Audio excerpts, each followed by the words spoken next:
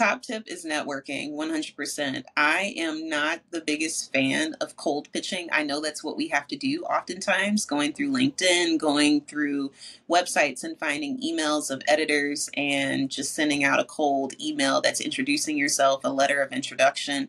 That's great. But I love to get in front of people because when you see me and you get to talk to me, you feel the passion, especially if it's something that I'm really interested in and invested in. So I can't sell that through email. So get in front of people who are working in the content space that you want to be in and start talking.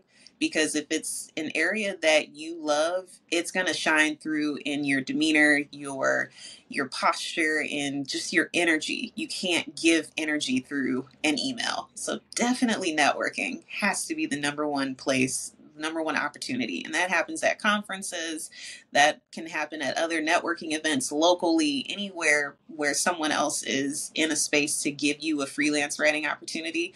Go and talk to them face to face. That is the best opportunity that you can have to get a freelance writing gig for sure. Awesome. That's all.